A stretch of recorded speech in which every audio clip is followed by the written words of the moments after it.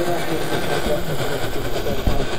this is in, uh, we're in Fort Lauderdale, Florida, South Florida, and we're going to try to pull in uh, station KVNS in 1700 from Brownsville, Texas, running 880 watts. That'll be a catch of about um, 1120 miles. Let's see what's.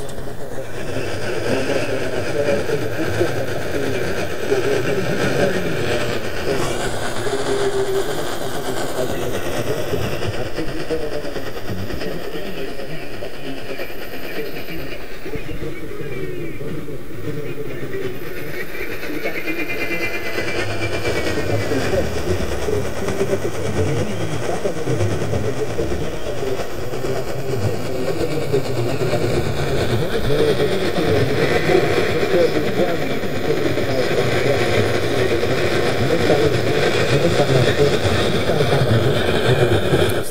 Superadio with the Select-A-Tenna, select antenna, and then the uh, Palomar loop antenna hooked up in tandem.